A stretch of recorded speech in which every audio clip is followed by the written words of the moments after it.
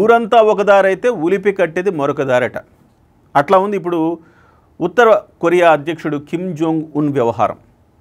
సాధారణంగా కరోనా మొదలైనప్పటి నుంచి మనం చూస్తూ ఉంటే అసలు అన్ని దేశాల నుంచి మనకు సమాచారం వస్తుంది కానీ చైనా నుంచి కూడా అప్పుడప్పుడు సమాచారం వస్తుంది కానీ బట్ ఉత్తర కొరియా నుంచి మాత్రం సమాచారమే రావడం లేదు. అసలు ఉత్తర కొరియాలో కరోనా ప్రవేశించిందా లేదా కరోనా ఉందా కరోనా రోగులు ఉన్నారా కరోనా వల్ల మరణాలు సంభవిస్తున్నాయా అసలు ఏం జరుగుతుంది ఆ దేశం ఏ రకంగా కట్టడి చేస్తూ ఉంది?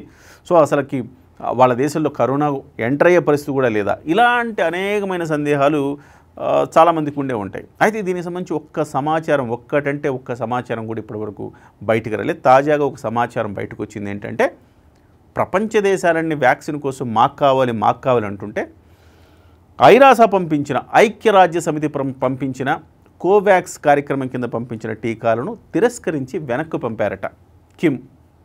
అదేందయ్యా టీకాలు వేసుకోవాలి కదా వెనక్కి ఎలా పంపుతున్నారంటే మేము అసలు టీకాలే వాడం మేము ఒక వినూత్నమైన పద్ధతిలో కరోనా కట్టడి చేస్తుంటాం ఇప్పటి వరకు ఒక్క కేసు కూడా రాలేదని చెప్పేసి కిమ్ అన్నట్టుగా వార్తా సంస్థ ప్రకటించింది. మొత్తం మీద అయితే ఉత్తర కొరియాకు సంబంధించి మొదటి నుంచి ఉన్న అనుమానాలకు ఇవాళ కిమ్ ఒక సమాధానం అయితే చెప్పారు. ఆ సమాధానం ఏంటంటే వాళ్ళ దేశంలో కరోనా ఎంటర్ కాలేదు. ఒక్క కరోనా రోగి కూడా లేడు. ఒక్క కరోనా మరణం కూడా లేరు అని చెప్తున్నారు. అయితే రాకుండా మరింత కఠిన చర్యలు తీసుకోవాలని చెప్పేసి ఆయన అధికారులను ఆదేశించారట. పొలిట్ బ్యూరోలో చర్చించి సో మనకి టీకాలు అవసరం లేదు. సో మన మార్గంలో మనమైతే కట్టడి చేసుకుందామని చెప్పేసి ఆయన అధికారులను ఆదేశించారు. మరింత కఠినంగా వ్యవహరించండి అని చెప్పి కొన్ని మార్గదర్శకాలు అయితే చెప్పారట.